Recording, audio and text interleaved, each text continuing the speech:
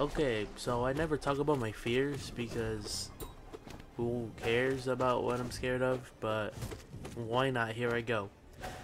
So, first one, um, earthquakes. So, this morning in California, we had an earthquake. It wasn't a big one, it was like a 3.0, which is very small, but I think we were in the epicenter. And I slept through it. so I didn't really care, you know? But my friend actually didn't, and he messaged us saying, like, earthquake, and then everyone was like, yup. But I slept through it because Suscat has a habit of staying up till 5 fucking a.m. My Central Time friend will be like, dude, you're awake? I'm like, yeah, I'll stay up that long. Anyway, um, so yeah, earthquakes freak me out, but um, mainly it's because it's like an inevitable thing, kind of like death, you know?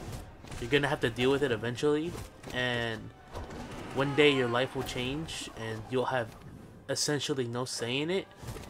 So yeah, that's what scares me. Maybe tomorrow I'll talk about another one. But um, yeah,